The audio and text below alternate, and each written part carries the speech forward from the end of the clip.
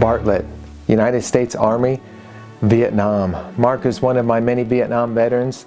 I had the pleasure of meeting him and his wife, Sandy, in Phoenix, Arizona. It was July 13, 2006, been a number of years ago. Marc was 59 years old at this interview.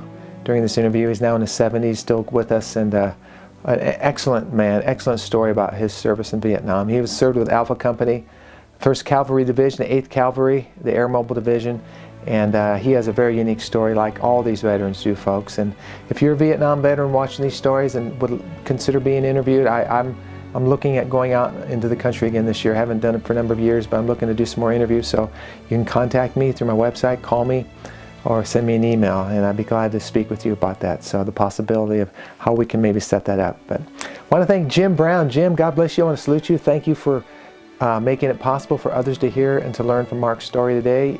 Jim stepped forward and is one of my sponsors. And uh, thank you for your patriotism, your service to our country through helping me with my work.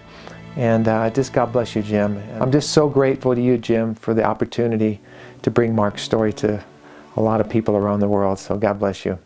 If you'd like to consider sponsoring a story, folks, and, and taking that step, I would encourage you to do it. There's information in the video description below this video. In the comment section, you can donate to my work. I don't monetize these videos. Uh, there's no commercials. I don't feel that's fair to interrupt these stories. And Or you can go to my website, larrycappetto.com, and click on Sponsor a Vet. So I know a lot of you are thinking about that. A lot of you would like to help, and God bless you for it. So. Okay, folks, these stories need to be heard today by our younger generation, especially. History is best learned from those who are there. As we continue to fight for our same freedoms in our own country that our veterans fought for on foreign soil, these stories are paramount. They must come forward. Thank you for those of you who are commenting on these videos. It really, I appreciate that. That's the only way I can hear from some of you. And I get about 15, 20,000 views every 48 hours. And uh, I'm just grateful for those that are learning and are really becoming more aware of how important our veterans are and the freedoms they fought for. All right, folks, subscribe to this channel and comment on these videos and share the videos too. I'd greatly appreciate it. Share it with a friend, a loved one, or another veteran. Amen. God bless you.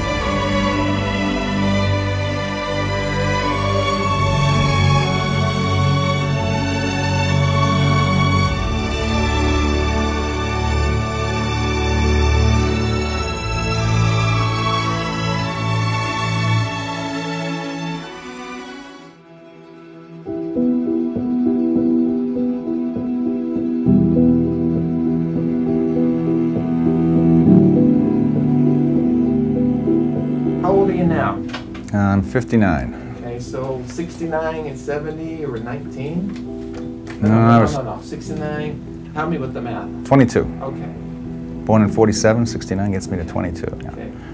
Um, were you drafted? Yes.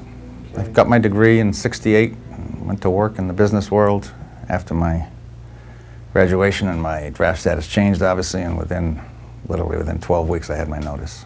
So I was inducted right before Christmas of 68. What, what do you remember about the, mood of the country at the time you went in? Did you feel a, a real sense of duty like the World War II generation did to go fight for your country, or was it something that you maybe didn't want to do and you just found yourself doing it, or how did you feel about that time? I guess I felt like I had uh, a job to do, and I was from a conservative enough family that I had the tried and true virtues of my father was in World War II. Um, my grandfather had been in World War One. My uncle was in World. So I had a lot of veterans in the family. So the idea of serving was uh, wasn't anything that was going to be distasteful to me. The mood of the country was obvious to anyone that, that has watched or read about that period, the late 60s, early 70s. I mean, it was drugs, there, there was a huge anti-war movement being fomented. In fact, it was probably at, at its height at about the time I was inducted. but didn't, didn't impact me one way or the other. When I got my notice, I just knew I was going. Mm-hmm. I was lucky because I had my degree. I was a little bit older than most of the kids that were being inducted or drafted at, at age 18 or 19. So I felt I had a little bit of a break over most of them. What was the actual company or regiment that you served with? There's battalion, or give me the breakdown of all that. The Alpha Company, 1st uh, Cavalry, 1st Division, 8th Cavalry. What was your MOS? Oh boy. Uh, I don't remember the number. It was a It's mortar, okay, mortarman. Okay. Infantry slash mortarman. Okay. So when you went to Vietnam, obviously this was your first time in a combat situation. Yes. You experienced over there. Do you remember what you felt the first time you got in country? What you smelled? What you saw? I mean, how, what do you remember about that? I guess the best way to explain it is for people that have seen Platoon, and when Charlie Sheen steps off the plane, that's how you feel. You feel like when you walk out into the street here uh, with the same temperature, but the humidity is about 90%. And even when you get off the plane at Tan Son Nhut, everything smells old, moldy, mildewy. Um, it's just everything's wet. and the blast of heat is the first thing you think about and feel about. I, I wasn't thinking about where I was going, what I was going to do. I knew what I was going to do where I was going to go. It, it literally was the, the temperature that floored me. Was it like a culture shock being there? Was it like what you thought it would be? You find yourself in Vietnam, here I am, you, you're ready to go. Yeah, I don't think I was surprised by anything. I mean, when you go through the training, the basic training and advanced infantry training that, that I went through, you're pretty much prepared for that part of combat. From a cultural standpoint, a lot of guys, myself included, didn't get close to the culture of the country as much as maybe as we would have liked to. I mean, I was able to get into the city and, and into the outskirts and on occasion, but for the most part, I was with other GIs and and short of interacting with people when I was out in the bush, jungle, field, um, I didn't get as much interaction with the Vietnamese culture as I certainly would have liked. What did what type of involvement did you have with the Huey helicopters? Were you part of the, the transports in and out of landing zones, or get, tell me a little bit about your interaction and your, your, your job with that? Okay, I didn't work with helicopters. I was an infantry person. Well, that's what I mean. Um, so what my interaction with them was that they brought me in to an LZ landing zone, be it hot or cold, and took us out, which was obviously more, a lot more fun than going in. um, they were our lifeline, as it were, for lack of a better phrase, when we were out in the field. They brought us our food, hot meals on a rare occasion, C rations, water, mail, um, the occasional warm Hamm's beer, the occasional warm Coke. Um, when we used to see those Hueys in the air, uh, kind of a great sigh of relief kind of was expelled by everybody in the field. But the main purpose of the helicopter was to get us in and get us out. How many troops would be on a, a ship going into a landing zone? Well, if you were on a Huey, um, there was a pilot, a co-pilot, two door gunners, and then there were probably half a dozen of us grunts, as we were better known, cavalry Well, Troops. that's an interesting word. I've heard that grunt. Define grunt. infantry. Okay. But where did that name come from? I suspect it came from the grunting that one does when one's humping in the jungle with 120 degrees, 100% humidity, uh, scared to death that the next thing you know you're going to be shot and carrying upwards of 80 or 90 pounds on your back. One tends to expel hot air, i.e. grunt, when they, when they do that. I'm not quite sure what the derivation of the term was, but it was, that's what we were called. Did you have M16? What did you carry? I carried uh, an M16 for a while. I carried uh, an M60 light machine gun for a while. Uh, when I was carrying mortar equipment, I carried a 45 sidearm. Um, I carried, a CAR-15 for, on occasion, um, but an M16 for the most most of the time. Can you can you walk me through a combat assault mission or whatever you whatever kind of mission you went on, just from pickup to to, to the flight to the incoming fire if there was at times, and if you went into a high LZ, just take me through one of the missions that you went on. Did you remember it maybe? Well, I tell you, it's been 30 some years. And at my age, memory is one of the first things that goes. Um, well, the first thing I remember is when you board the chopper to go into an LZ, you don't know if it's hot or cold uh, when you take off. The first thing you, you think, uh, you feel is fear. I mean, I'm, I don't care what anybody tells you. How many guys come in and tell me they were never afraid? They're, they're full of it. You're afraid.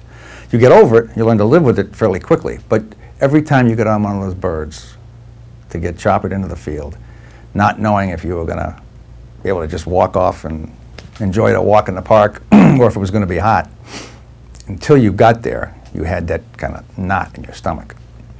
Um,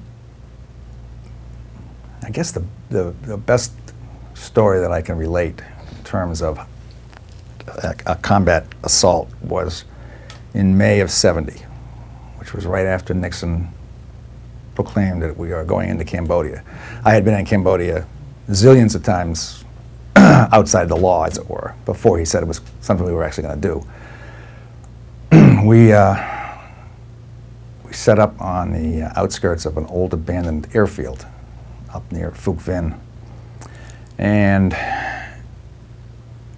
we were sitting on the, the, what was left of the tarmac, which is mainly just red clay. and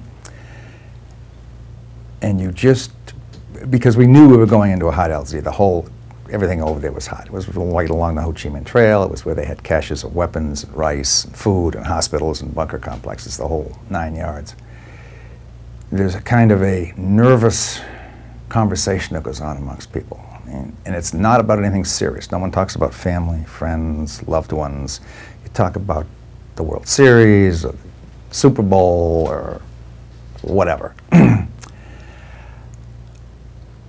This was a huge assault. The whole company was going in, about 150 of us.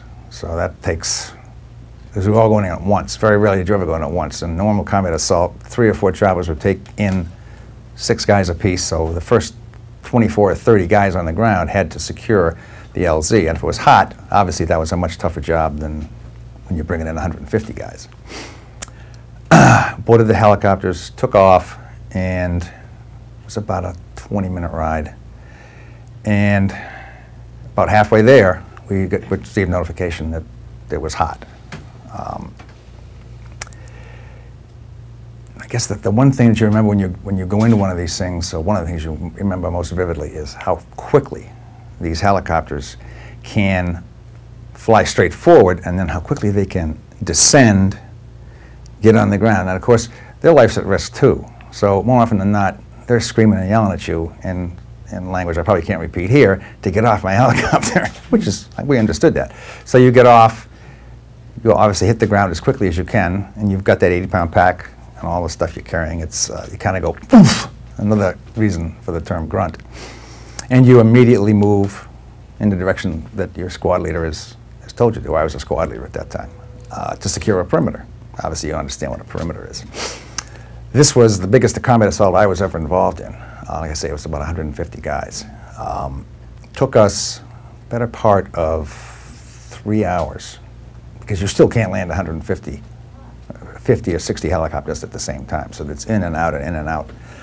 Um, by the time all was said and done, we had the landing zone secured and didn't lose anybody. I'm going to digress just for a second. Come back to your knowledge then or in or now. Why were why were we in Vietnam?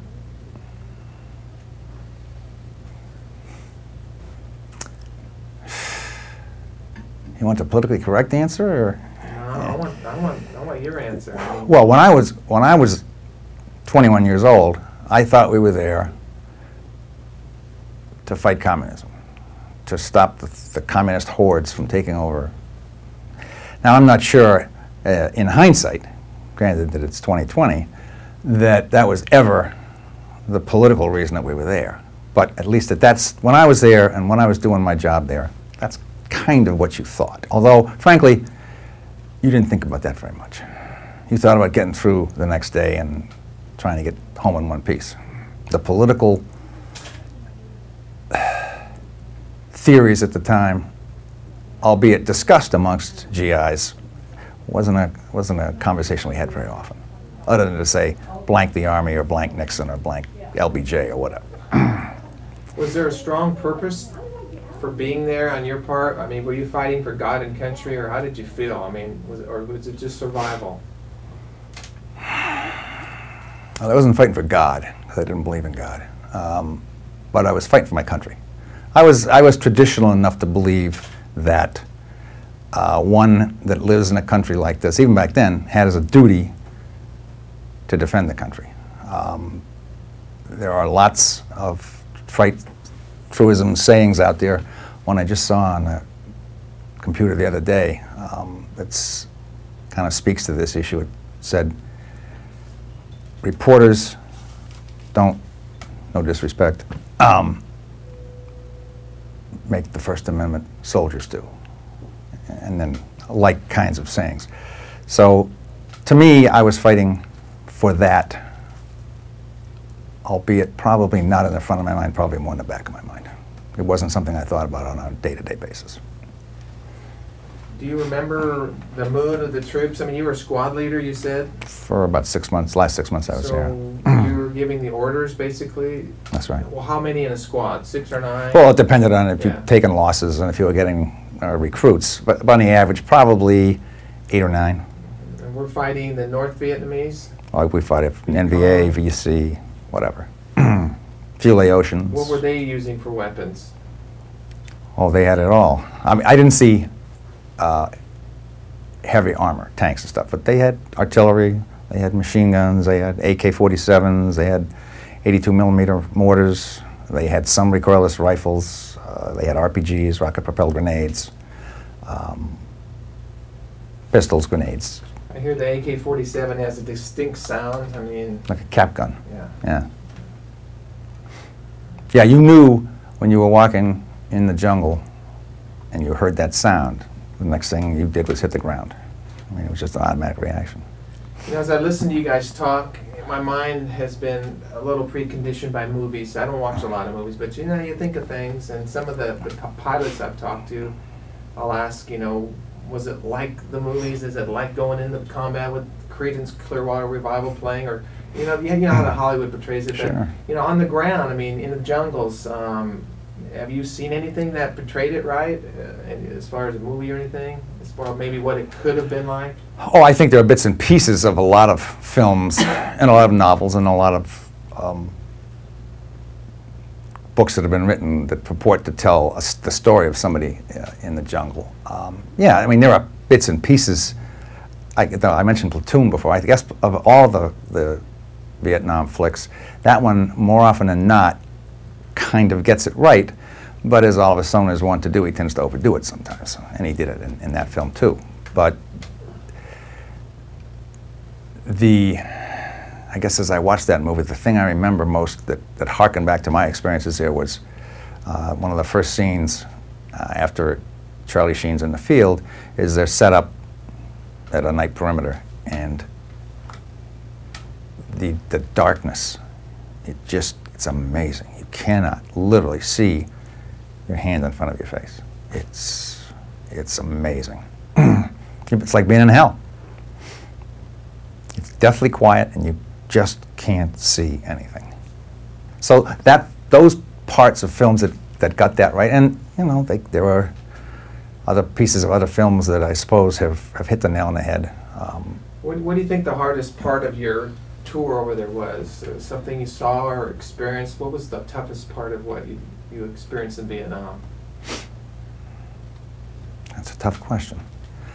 The whole thing, I suppose, is a is a one-year-long event, kind of, at least now, kind of all folds into one thing.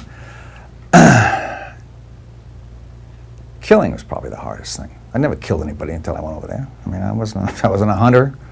I hadn't been hunting since I came back. um, I wasn't a gun guy. Uh, I suppose that's the thing that's hardest to do, notwithstanding that it's kind of a reaction. It just it's fairly natural, um, and it's the hardest thing to have lived with for all these years since then. Do you think your training prepared you for what you experienced, or, or can you be trained enough to experience? I mean, some of the guys felt invincible. They got over there, and reality set in. And um, how did you feel, Marc? Um, did the training prepare you for what you had to experience, or there are things you learn in battle conditions that you can't learn anywhere else? Well, the training teaches you the basics how to fire your weapon, how to do the stuff you're supposed to do to get from one place to the other, and, and all that stuff that in combat tends to be fairly unimportant. So the guys that told you that they probably learned more on an OJT basis were probably telling you the truth. You, and obviously in that kind of a scenario, in that kind of a situation, even the dumbest guy learns fast. I mean, you pick up stuff that you learn from guys that have been there a long time, and it doesn't tend to be the kind of thing that you learned back at Fort Jackson in South Carolina. It's, it's, it, OJT is the best way to put it, I guess. You you survive by what you learn, and truth be told, there is a certain amount of luck involved. Engaging the enemy in Vietnam. Um, close range? Art- were there any artillery? I don't hear a whole lot of artillery. I mean, this base of small arms exchange, is that pretty much what you guys are doing? Yeah, they had some artillery, some recoilless rifle. Uh, I'm not sure I encountered it more than half a dozen times in a year. Mainly small arms fire, uh, rocket propelled grenades, uh, Chinese communist grenades, the things that look like pineapples, um, 82 millimeter mortars. Uh, they had a it's like a 50 caliber machine gun, which they would set up on a an old Jeep or something, which was was brutal. But it was mainly small arms fire. Some hand to hand, but not a lot. I don't know what, what a lot is, but once would be too You much. guys fix bayonets and the whole bit? I mean, when you say Rare, hand-to-hand- rarely, Yeah. okay. but uh, on occasion, yeah. You, you mentioned, you know, living with these memories. I mean, was there a time that it was b- bothered you, or did you come home, forget the war, and go on with your life, or I came home and got on with my life. Sandy will tell you, we've been married 15 years, and I've never, never talked about it. Um, did you read the article that was in the East Valley Tribune? Is that what brought you to to find out about my work, or what were you? uh, it wasn't an article; it was just a short blurb. Yeah, it was a short, yeah, brief. Yeah. yeah. Why do you think you responded to that? I mean, what, did Sandy encourage you, or did you use? No, she didn't. I did it myself in the hopes that maybe I could. And I'm not a person that doesn't sleep at night and has. I have dreams and I have nightmares. Yes, um, but I thought perhaps if I could get through something like this, I could. This is going to sound hokey as hell. Be a better husband and show a little more emotion, and and be a, maybe a little warmer person. Doesn't When I first came back, um, to answer your question about reactions, um, told you not to cry. uh, I was previously married, um, and this is a true story. On the mantle of our bed, I had a bunch of athletic trophies, and my wife at the time woke up. This is maybe eight months after I'd been back, and I had the trophy in my hand with the marble base ready to hit her in the head. Thank God she woke up. so, yeah, I mean, you have those kind of things. But that's the only time that ever happened. Never happened again. Um, I don't think about the war every day. I, I don't. Doesn't doesn't drive me one way or the other. But it's certainly something that defined my life and the way I live my life. How do you think it changed the way you live? I mean, going through combat obviously will change a person. Um, the training, having talked to all these World War II veterans and what they went through at 19 years of age, um, does it give you a new lease on life to be around that? I mean, you obviously have lived your life. You went through that experience. Um, did it make you a better person? Well, I think it made me a better person. Yeah, I think it it it helped. It wasn't just my experience in the war, a lot of the way you live your life has to do with the way you've grown, the way you grew up, the mores that your parents put into you and instill in you. But I do think it helped me become a better man uh, and one that looked at life through something other than rose-colored glasses. I look at life with a fairly realistic, through a fairly realistic prism. I mean, I, I know what life's like, and and I suppose if it's looking for a one-word definition, it's probably cynical. I, I think a lot of combats that you talk to will tend to get that way. I tell you, they tend to get that way. And that's kind of how I should have phrased that. It probably makes you think or look at life differently, having through been through combat. You know, like you said, um, your perception of what life is. Well, you look. I mean, from an esoteric standpoint, sure. I mean, we all know what life is. We've all in this room have lived 40, 50 years. Um, a lot of guys I was with, I was walking down a trail one minute, and the next minute they were gone, and that's the kind of thought process you go through when you're there. Don't think about it. I didn't think about it much after I came back. I mean, you tend, I tended to box it up, crate it up, put it away, like lots of guys did, and move on with my life. I didn't take drugs. I didn't commit crimes. I worked in the business place for 40 years and moved on. Did you lose friends over there, Mark? Killed, wounded while you were in Vietnam? I did. But you want stories? No, I'm just asking. yeah, I. Uh, well, you mentioned some guy was there. And the next minute he was gone. I mean, when we. Was that like a mortar round? It, it was no. It was after our incursion into Cambodia. Um, one of my best friends, um, kid from Alabama, talked just like that too. His nickname was his last name was Dill, so we nicknamed him Pickles. well, we had moved on from where we we uh, we came in, and we were set up on a on a trail, which you normally didn't do. and pardon the story, but he had to go do his business, and he started to walk down the trail, and he didn't go 20 yards, and he was dead. Two VC had to be coming around the corner. So yeah, you just kind of, you just, one minute you were there joking, and the next minute you were putting him on a helicopter hoping he'd make it. And then getting the word 20 minutes later that he did. I'm fascinated with the Huey helicopters, just like I was with the, the Higgins boats that took the World War II guys into to combat, you know, the, the, the uh, mode of transport. Um, did the Huey have the doors? You know, I hear the doors run on the Hueys. Is that kind of how it was? You hang out, or or were you know the ones that you wanted? Yeah, for 99.9% of the ones didn't have the doors on. You could fit an extra guy or maybe even two in that way. Plus, excuse me, the door gunners had to have room to maneuver their, their machine gun. So yeah, most of them didn't have doors. Was it pretty noisy? in Oh yes, it was pretty noisy. So you're not talking. I mean, Well, if you are, you're not talking, you're screaming. Now, once you got off the ground, up into clear space, as it were, there's, it's a little quieter, but still, with the whirling of the, of the rotor, it's pretty loud. the very distinct sound of that. the Every wah, wah. machine there had a distinct sound. You knew if a Huey was coming, you knew if a Chinook was coming, which was the helicopter with two rotors on either end.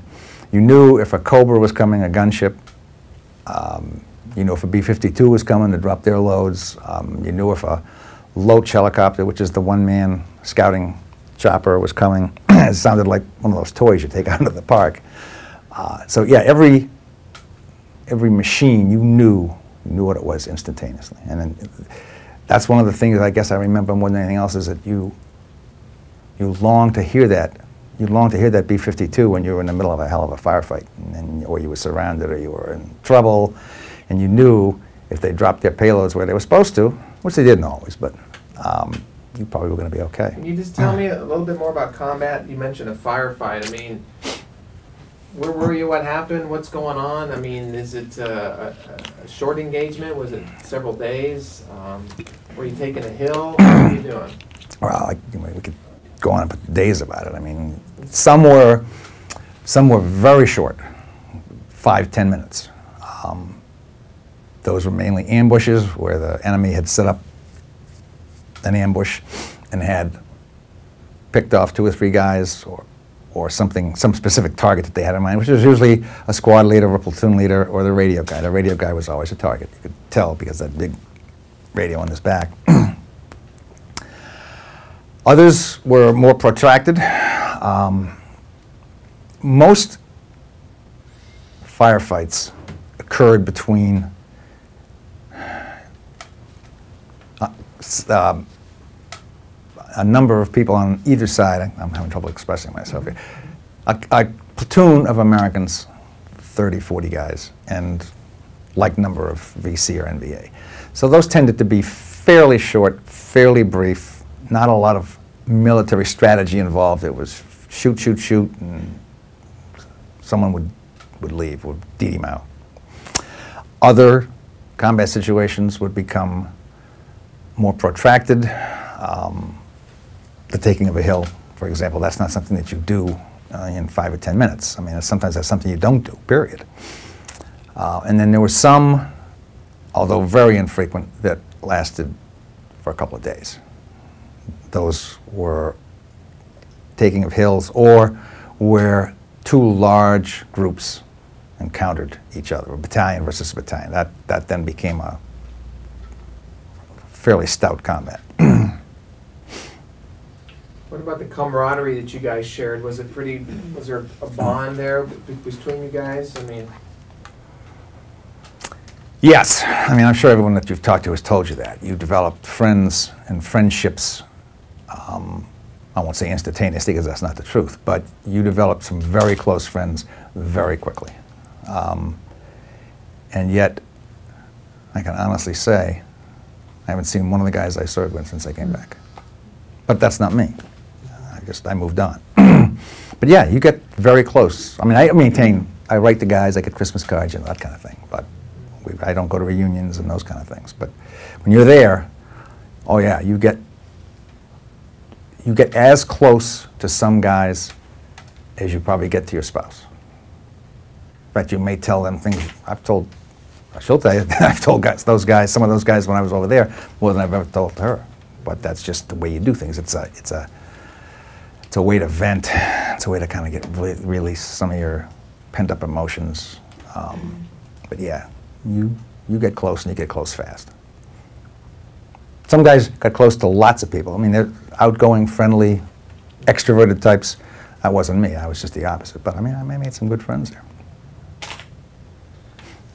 Some of the Vietnam vets are very um, visual with hats and pins and medals. I, will notice you don't have anything. Um,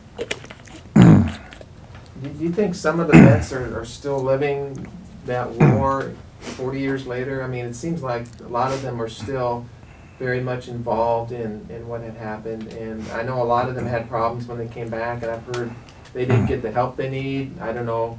One of my questions to you were there drugs in Vietnam? Oh, yeah. Oh, yeah. I never used them, um, but I didn't use them in college either, so I wasn't a druggie. Um, there were drugs there. Um, in my situation, perhaps not as many as what some of the other guys you may interview saw, um, but there was some heroin use and there was a lot of marijuana use. Um, yeah, I don't wear hats and my medals. I don't. That, that just I say I, I, it's in a box and I put it away when I came home, and and I don't disrespect those guys that still live it. I mean, we're all, for lack of a better phrase, we're all still there. We always will still be there. Some guys just dealt with it differently. I won't say better than us. Some guys just dealt with it differently, that's all. Do you think the drug usage was a result of the culture here and that's why it was there? Or do you think it was an escape from some of the things that these men saw? Well, I think it's probably a combination of all of those things. I'm, I'm absolutely convinced it was partially because drugs were part of the culture here. I mean, whether you were in college, whether you were in high school, whether you were on the athletic field, or whether you were on the streets. I mean, drugs were a big part in the 60s. Um, and so I think part of that carried over when guys went over there. But I also think that part of it was driven by what guys had to do and had to see. And I shouldn't just say guys because there were women there, but they weren't on the front line. So pardon me if I'm not being PC, but it's a, it was a guy thing. but yeah, there was, there was a lot of drugs, but in the cosmic scheme of things, probably not, at least from my perspective, not as much as, as they would have you believe in terms of what you see in the movies and on TV and that kind of thing. But it was there. Interesting talking to the World War II generation and the things that they experienced and you know what you guys experienced in Vietnam. Um, I try to find things that are similar, things that are different, but um, you can you can see a shift from World War II into Korea. A lot of the Korean veterans have told me they went into Korea with a uh, World War II mentality, and things have started to change. The politics got involved, and in Vietnam. And uh, are you proud that you're a Vietnam veteran? Yes. Oh yeah, I don't hide it. Um, I'm glad I did what I did. Um, uh, at the time, I never thought about going to Canada. Or, I was going to do my thing, and I'm I'm proud that I did. Have people thanked you for serving our country? Interesting question, only because of the timing. Um, I got spit on a couple of times when I came back. I came back through um, Travis Air Force Base in Oakland, and uh, so I spent some time in San Francisco. And that was not the best place to come through at that time of my life in, in that situation. And nobody for well, I came back in July of 70, ever thanked me, and I never expected it. And then when we left Warsaw in, right after April 1st, right after April Fool's Day, um, squirrely story, the moving, moving truck wouldn't take her plants. They can't cross the Continental Divide, yada, yada. So we took them to a neighbor down the street who we'd lived next to for the four years we were there. And he was, he and they were in their 70s. Um, he turned out to have been a World War II and a Korean veteran. And uh, lived next to him for four years, and he didn't know I was a Nam, and I didn't know he was a. I happened to have a Vietnam hat on that day because it was cold out. We were moving the plants in, and he just asked me because he saw the hat, and he said, "Were you there?" And I said, "Yeah, I was there." And he immediately shook his, stuck his hand out and said, "Thank you for your service." I mean, I almost cried. It was amazing. First time in 30 something years. But and that's not anything I ever expected either. So, but it, that was nice. I got admit. But he, having been in combat, knew what, what it was about. What, what do you think happened in 20, 25 years after World War II, where the country was so united and you know the homecoming was so overwhelming and everybody supported it. What do you think happened in those years? I mean, and then you guys get spit on and stuff thrown at you and called baby killers and whatever. Well, I guess if you're a history student, which I was, I mean, it's pure and simply politics. World War II was the right war. Korea was the right war. In a different sense, but it, it was the right war. It was supported, we were doing the right thing there. And notwithstanding that perhaps the guys in, in Vietnam in the early 60s, up to maybe 65, had the, the majority of the country behind them, obviously that culture changed. And I think that's what changed. I think that's the difference between the two previous wars and this one, and I think we're obviously still dealing with it. I don't think in my lifetime we'll ever, ever, ever get over dealing with it. Not, I'm not dealing with it. Bill Clinton dealt with it. George Bush is dealing with it, and whoever takes Bush's place is going to have to deal with it because there is a certain, not to get off on a political tangent here, but there is a Vietnamization syndrome, I think, in the government now that precludes us from winning a war. Notwithstanding that wars have changed, obviously. I mean, Vietnam was a far different war. It was a guerrilla war, and so is the one that's going on now. Whereas the two previous wars were tended to be more classical combat situations. Not that I'm a military scientist or anything, but I think that's part of what happened. And I think from a historical perspective, uh, we still have a lot to learn from the two big wars, the two wars that were, were properly thought of as being fought for the right reason.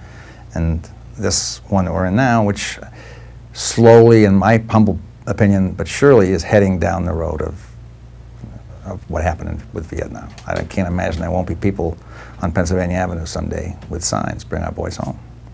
I mean, seriously. what, what does Vietnam mean to you today? What significance does it have in your life? I guess the main significance is that it was the defining year of my life. And now that I look back on it after 60 years on the planet almost, and think, what a strange thing to have the, the defining year of your life a third of the way through your life. I mean, not that I, I've lived a great life, I've had a great career, I've done a lot of, a lot of great stuff, I've traveled a lot, but that, that one year tends to define, tended to define me, I shouldn't, I should be specific, tended to define me and the way I lived my life and handled my career. Um, I'm not sure that's a bad thing, but it's certainly was something that at the time I didn't understand and didn't appreciate. It, it, even though I was a little bit older than most of the kids that were there, I was still only 22. what do you want people to remember about Vietnam? Well, if I sat here and gave you the trite old cliche of that Vietnam vets should have been, or at least now should be treated the way World War II vets and Korean War vets and guys coming back from Iraq were, I'm not naive enough to think that that's ever going to happen. And I think it's so far after the fact that it's phony anyway. So, you know, I don't buy it in the first place. I guess the main thing that people should remember is we're supposed to learn from history right?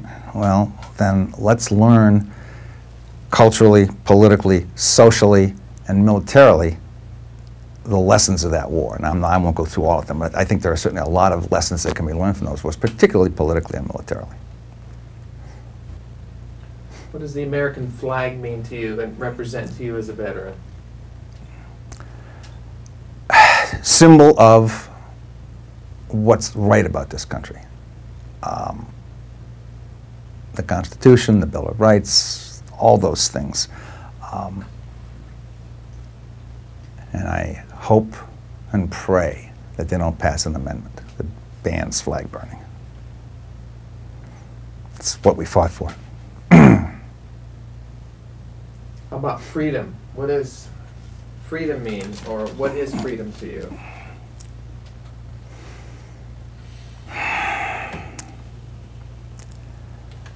I guess it's, it's fairly simple. It's the ability to do what I want, when I want, the way I want, within the confines of the strictures society sets, be they moral, cultural, legal.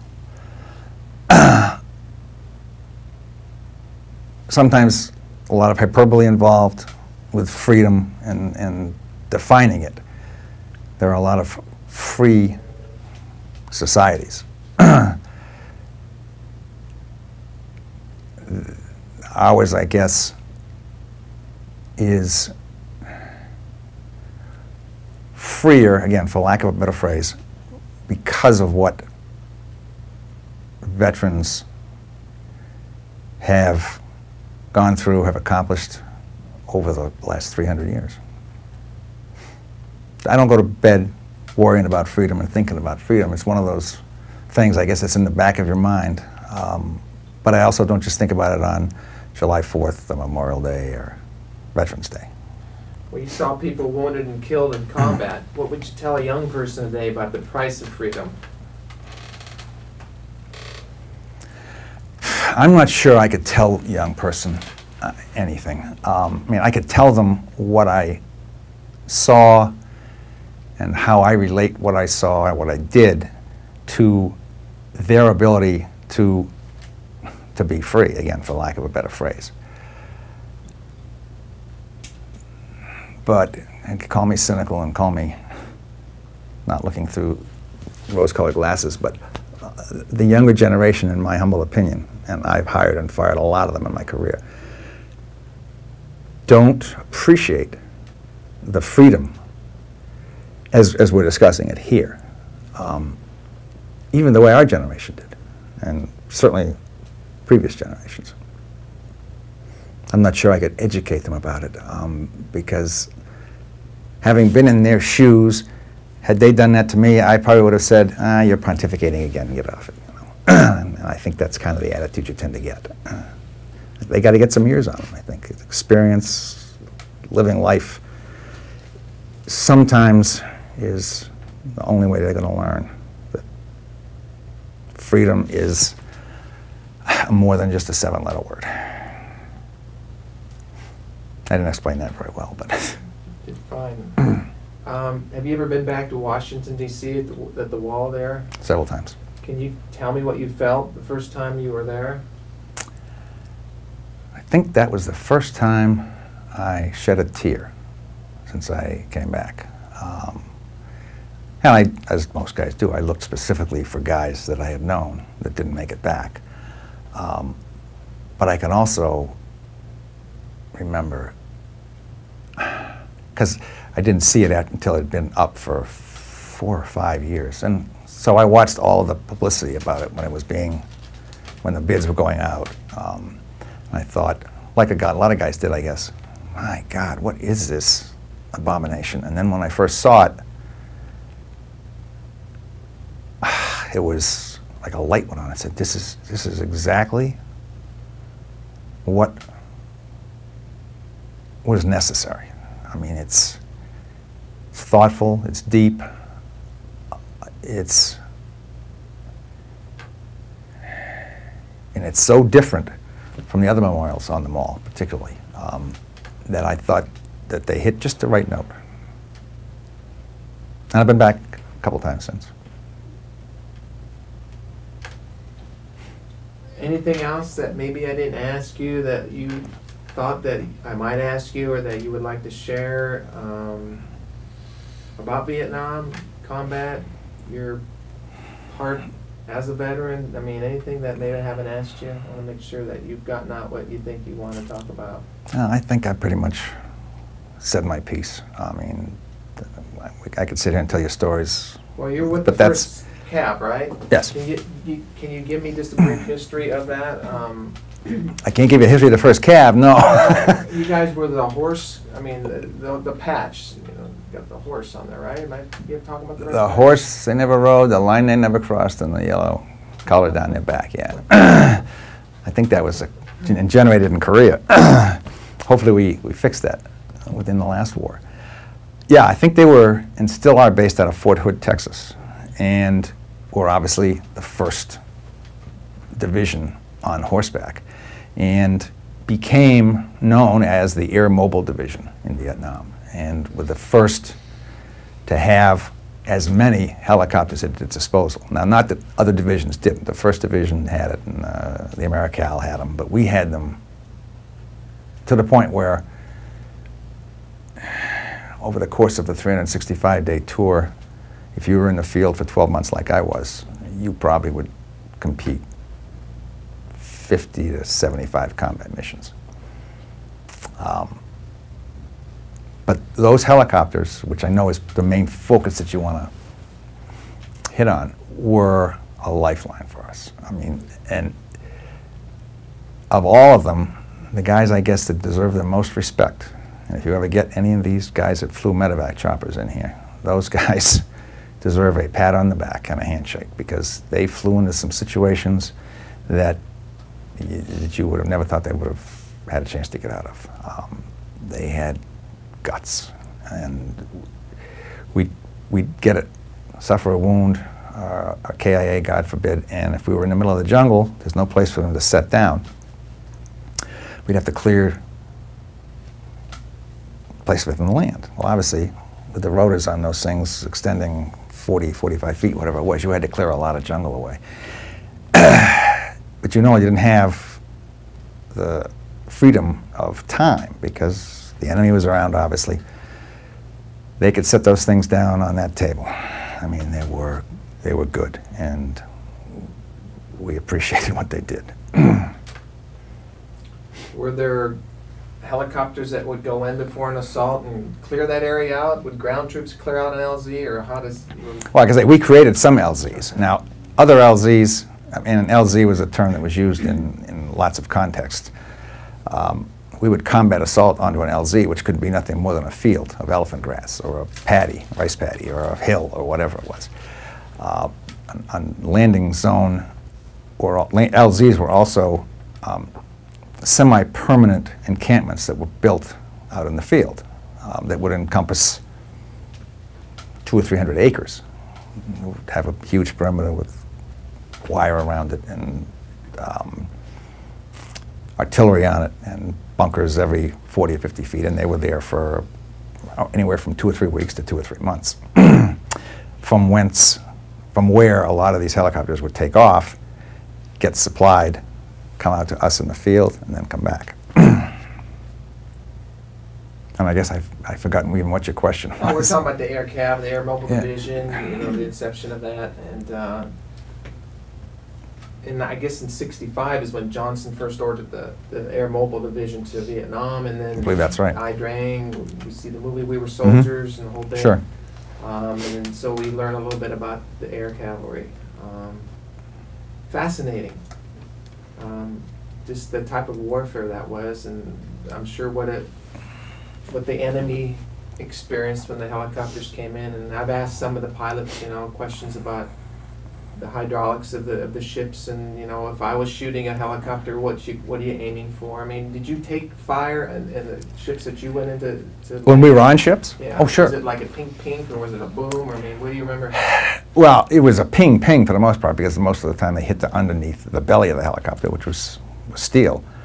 Um, but that was scary because, yeah, I guess if they, I'm not a pilot, but I assume if they hit a certain part of the rotor or the tail rotor, uh, at least from what I, a little bit I know about flying, those things didn't stay in the air very long and they tended to just kind of go straight down. And with all the fuel in them, I mean, that, you didn't tend to get out of those alive. Um, which was why we loved and respected the pilots so much because more often than not, they were flying, whether it was a heli- medevac helicopter or guys just bringing us in and out of an LZ. I mean, uh, those guys had life expectancies about the same as a second lieutenant in the field. I mean, it wasn't good. They had a lot of guts, took a lot of chances. Are there sights and sounds today or smells that bring back Vietnam? Well, when, when a Huey flies overhead here, whether it's a Channel 3 or Channel 5 um, news chopper or a weather chopper, um, occasionally it might bring back. But frankly, no, I don't dwell on what I went through back then. Um, I say, I kind of was done with it. I still dream about it once in a while, think about it, but the, the smells were so peculiar to that one year that they don't translate or transfer to this part of the world. I mean, mildew smells like mildew, but there it was. I mean, it was just, it was just different. And humidity is humidity. I lived in the South for a while, and but yet, humidity in Florida is nothing like humidity in the in the jungle uh, when you're in Quan Loi, Song Be, one of those places. You just, it's it's hard to breathe. So those are the kind of things I think I remember sometimes. But in terms of translating that back to here, that doesn't happen very often. Do you think it's important that we remember some of these things about war, Vietnam? Well, I think it's it's obvious. It's important to remember things about war, if only because we would hope down the road at some time that there will never be any. I'm not naive enough to think that's the case, given what's happening in the Middle East today. But I guess if I put on my rose-colored glasses for once, I would like to think that at some point in time, this world would get to that point where we could all put the rifles down and put them into plowshares and plant corn and walk down the road arm in arm singing kumbaya. Don't expect that's going to happen, but I guess I'm hopeful. Um, I think you've covered it pretty well. Um, I had one more. Oh, I was going to ask you. Have you talked to Sandy much about Vietnam? She's heard more in the last hour than she's heard in That's why I'm 15 years. Yeah. You know, I, I'd say 75% of the veterans that I talk to have, have never shared or shared in depth what happened in combat. And Oh, uh, sure. it's amazing to me when somebody will say just what you said.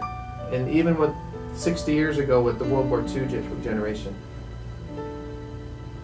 it's, it's an amazing thing. Um, the guy that was here before he had the little article cut out of the paper and he wanted it back. He wanted to keep it. It meant a lot to him. And uh, I just think it's important that we, we record these stories um, before it's too late to do so. I guess you wouldn't be here if you didn't think so. and I'm just, I guess the iron, irony in what I do is that I've never served in the military, and yet I feel like this project is, is serving my country right now. Oh, and I appreciate that, and I think it's it's, and I think it's well worth doing. Um, and don't just, you're doing, I know you've done World War II and you've done Korea. Um, don't just concentrate on the one, on our war, because a lot of guys have fought in a lot of wars that meant, if not more, at least as much as the one I fought. I mean, everyone thinks the war they fought in was the most important, but I'm not sure I'm naive enough to think that either. Well, I'm, I'm not just focusing. I'm, I'm working on my fourth World War II film, and I'm just beginning to work with the Korea and the Vietnam bits. But what's happening is I'm getting a lot of Vietnam bits now, and it's it's exciting. It's it's amazing. Well, I would imagine. You guys are so young, Thank you very much. you know. For once, I may not be the oldest guy in the room. It, it's amazing. I found the secret to youth. You know, finding men in their 80s and talking with them. And Lewis is really my he's my adopted father. I lost my father when I was 10. Oh, I'm sorry. And he was an alcoholic, so I remember nothing about him other than the bad stuff. But he's taken on the role as my father, and I made him sign a 20-year contract to work with me. So, So you drive along with them. yeah. Oh. I got out of hand. I bet he's had an influence on what you're doing. Oh, amazing. You know, I interviewed Lou three years ago in Denver, and uh, we become really good friends. And he just lost his wife in January, and he's made it his mission to travel with me now. Good for him. It's just an amazing thing. 59 years. Hmm we can talk a little bit more. I'm going to do ask you to do one more thing. I've asked all the veterans, and I hope and pray that you're going to do this for me. But when I say, can you give me a salute into the camera from where you're seated right there? And if you saw one of my films, you probably would understand this. But I'm going to. Okay, Marc, right in the camera. Great, thank you.